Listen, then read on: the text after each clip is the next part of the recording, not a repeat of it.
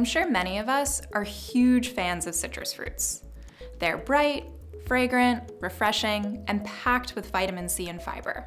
But did you know that popular citrus fruits like oranges, grapefruit, and mandarins might also come with a dose of hormone disrupting fungicides?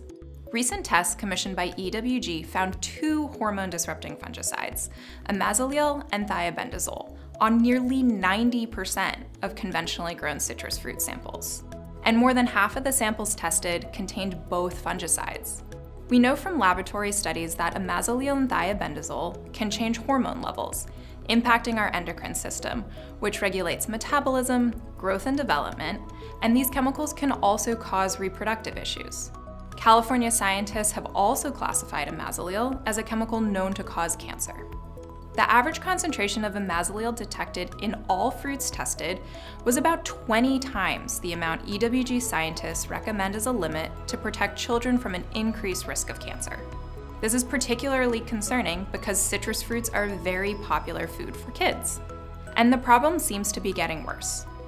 A greater number of fungicides were found on tangerines tested by the USDA in 2019 compared to tangerines tested in 2011 and 2012, and at higher average concentrations. So how can we avoid these problematic fungicides and still enjoy the powerful health benefits of citrus fruits?